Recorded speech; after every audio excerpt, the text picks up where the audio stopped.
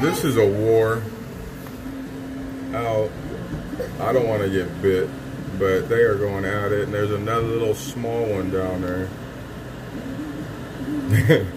you could see him wrapping him with his the back of his feet. But that, oh, he's getting his legs now, twisting him up. He's gonna get him. But that bee is fighting. If the bee gets loose, I'm gonna give him the respect to let him go outside because I don't. That's what we were trying to Yeah, do.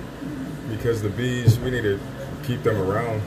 You know, they're the population of them are replenishing. It's important to keep those around. So I know it's kind of an oxymoron,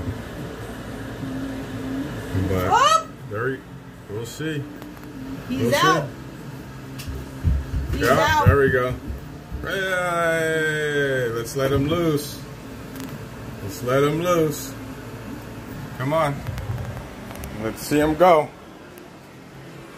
Oh, where'd he go? Oh, oh. he's flying out. he flew out. Shit. he's like, uh-uh.